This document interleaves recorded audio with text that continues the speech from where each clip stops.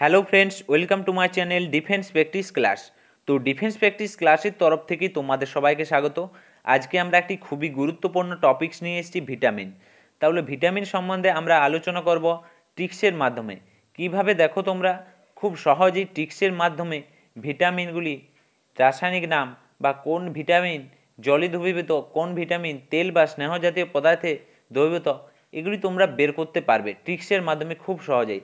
তার জন্য বলছি ভিডিওটি তোমরা শেষ পর্যন্ত দেখো এবং ভিডিওটি যদি তোমাদের ভালো লাগে, অবশ্যই লাইক কমেন্ট এবং শেয়ার করে জানাবে। তাহলে ভিটামিন সম্বন্ধে যখনই আলোচনা করব, ভিটামিন কি? ভিটামিন হচ্ছে একটি কেমিক্যাল কম্পাউন্ড এর কোনো শক্তি উৎপন্ন হয় না ভিটামিনের।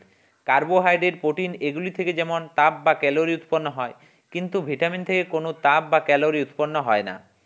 তাহলে এর কাজ কি? তাহলে ভিটামিনের কাজ হলো শরীরের বিভিন্ন রোগ প্রতিরোধ করা হচ্ছে ভিটামিনের কাজ এবং ভিটামিনকে কয় ভাগে ভাগ করা যায়? ভিটামিনকে ভাগ করা যায় দুটি ভাগে, একটি জলে দ্রবীভূত ভিটামিন আর একটা হচ্ছে তেল বা স্নেহ জাতীয় পদার্থে দ্রবীভূত ভিটামিন। তাহলে কোনগুলি জলে দ্রবীভূত এবং কোনগুলি তেল বা স্নেহ জাতীয় পদার্থে দ্রবীভূত সেগুলি আমরা ট্রিক্সের মাধ্যমে বার করব। এবং এখান থেকে আরেকটি তোমাদের প্রশ্ন আসতে পারে যে ভিটামিন কে আবিষ্কার করেন? তাহলে ভিটামিন আবিষ্কার করেন বিজ্ঞানী ফ্রাঙ্ক। এটি মনে রাখো, বিজ্ঞানী ফ্রাঙ্ক ভিটামিন আবিষ্কার করেন। তাহলে চলো শুরু করা যাক আজকের আমাদের এই ভিটামিন টপিকস। তাহলে এখানে তোমরা বাঁ দিকে দেখছ ছটি ভিটামিনের নাম দেওয়া আছে এবং ডান দিকে উপরে দেখো একটি ছবি দেওয়া আছে, রথের। এবং রথের ভিতরে একটি ট্রফি রাখা আছে। মানে রথের উপরে একটি ট্রফি রাখা আছে। তাহলে এখান থেকে আমরা বলতে পারি যে রথের উপরে এক ট্রফি। কি বলতে পারি? রথের উপরে এক ট্রফি এবং উপরে কথাটি সাইলেন্ট থাকবে। ওপরে কথাটি আমরা ধরব না। তাহলে এখানে দেখো, রথের উপরে এক ট্রফি। তাহলে আমাদের র থেকে কি হয়ে যায়?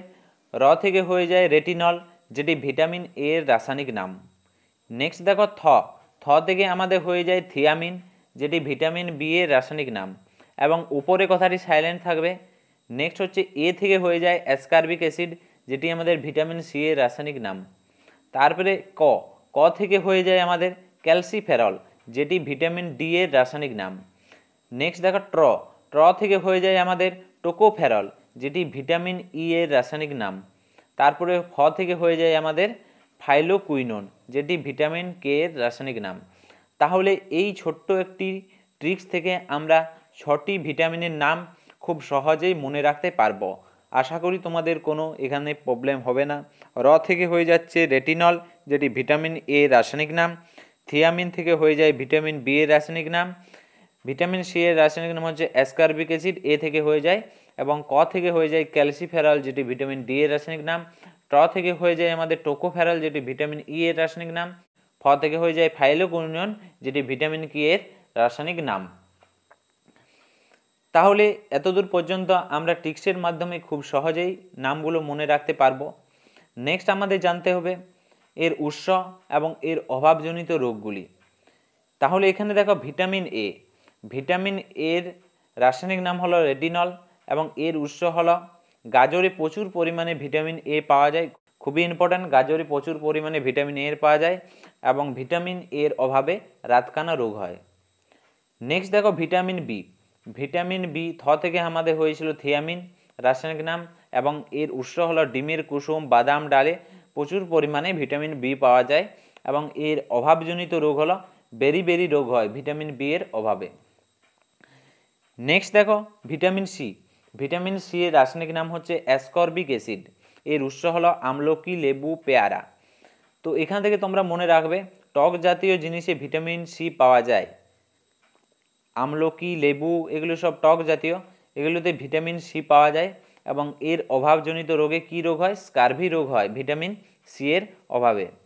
নেক্সট দেখো ভিটামিন ডি ভিটামিন ডি এর রাসায়নিক নাম হচ্ছে ক্যালসিফেরল এবং এর উৎস কি? মাছের তেলে ভিটামিন ডি পাওয়া যায় এবং এর অভাবজনিত রোগ দেখো, ছোটদের রোগ হয় রিকেট এবং বড়দের হয় অস্টিওমেলেসিয়া এবং এই রিকেট রোগের প্রভাবে ছোটদের পা বেঁকে যায়, হাড় বেঁকে যায়, মনে রাখবে। নেক্সট দেখো ভিটামিন ই ভিটামিন ই এর রাসায়নিক নাম হলো টোকোফেরল টোকোফেরল হচ্ছে ভিটামিন ই এর রাসায়নিক নাম এবং এর উৎস হলো লেটুস শাক, মটরশুঁটি, মাছ, মাংস, ডিম। এগুলিতে প্রচুর পরিমাণে ভিটামিন ই পাওয়া যায় এবং এর অভাবজনিত রোগে বন্ধাত্ম হয়। ঠিক আছে? নেক্সট দেখো ভিটামিন কে ভিটামিন কে এর রাসায়নিক নাম হচ্ছে ফাইলোকুইনোন এবং এর উৎস হলো টাটকা শাকসবজিতে ভিটামিন কে পাওয়া যায় এবং এর অভাবজনিত রোগে রক্তক্ষরণ হয়, ঠিক আছে? এরপর আমরা আলোচনা করব কোন ভিটামিন জলে দ্রবীভূত এবং কোন ভিটামিন তেল বা স্নেহ জাতীয় পদার্থে দ্রবীভূত। তো এখান থেকে তোমাদের খুবই প্রশ্ন আসে এবং এটি খুবই গুরুত্বপূর্ণ একটা টপিকস এবং আমি এই প্রশ্নগুলো তোমাদেরকে ট্রিক্সের মাধ্যমে বলব। কীভাবে তোমরা ট্রিক্সের মাধ্যমে খুব সহজেই বের করতে পারবে কোন ভিটামিন জলে দ্রবীভূত এবং কোন ভিটামিন তেল বা স্নেহ জাতীয় পদার্থে দ্রবীভূত ভিটামিন? তোমরা এখানে দুটি গ্লাস দেখতে পাচ্ছ, একটিতে তেল আছে আর একটিতে জল আছে। এখানে আমি একটি পোকা নিলাম, সেই পোকাকে তোমরা দেখবে হিন্দিতে বলা হয় কীড়া ঠিক আছে? তাহলে আমরা এখানে কীড়া বলব। একটি আমি কীড়া নিলাম, সেই কীড়াটি একবার আমরা জলে দ্রবীভূত করব, একবার তেলে ছাড়ব। তো একবার আমরা জলে ছাড়ি। জলে যখনই আমরা সেই কীড়াটাকে ছাড়ছি, তখন সেই কীড়াটি সাঁতার কেটে উঠে যাচ্ছে এবং সেই কীড়াটা যখন আমরা তেল বা স্নেহ জাতীয় পদার্থে ছাড়ছি, তখন দেখো সেটি মিশে যাচ্ছে। তাহলে এর থেকে একটি আমরা সিদ্ধান্ত পাই, এই ট্রিক্সে আমরা একটি সিদ্ধান্ত পাই যে কে ই ডিএ ক্রীড়া হচ্ছে তেল বা স্নেহ জাতীয় পদার্থের দ্রবীভূত এবং জলে দ্রবীভূত ভিটামিন কি? কে ই ডিএ বাদ দিয়ে যে দুটি ভিটামিন আছে, ভিটামিন বি, ভিটামিন সি, এগুলো হচ্ছে জলে দ্রবীভূত ভিটামিন।